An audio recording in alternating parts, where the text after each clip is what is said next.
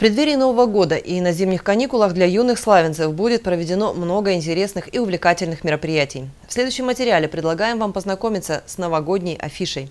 Итак, с 25 декабря и по 8 января в нашем городе пройдут следующие праздничные мероприятия. 25, 26, 28, 29 и 30 декабря, а также 2, 3, 4 и 5 января на Театральной площади будет проходить музыкально-развлекательная программа и хороводы для детей «Новогодние забавы».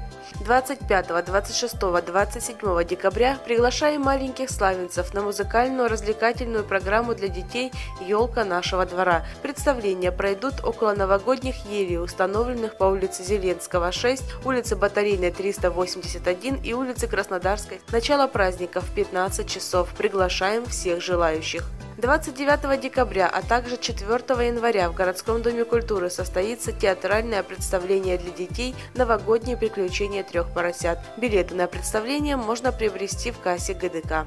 6 января приглашаем славянцев побывать на рождественском концерте под сиянием рождественской звезды, который состоится в городском доме культуры. Вход свободный, начало программы 14 часов. Любителей активного отдыха приглашаем посетить спортивные мероприятия, которые будут проходить в течение всех новогодних каникул. 4 января в бассейне «Дельфин» состоится новогодний турнир по водному поло. Начало соревнований в 13 часов. 6 января в детско-юношеской спортивной школе номер один пройдет первенство по спортивной гимнастике. Начало соревнований в 9 часов утра.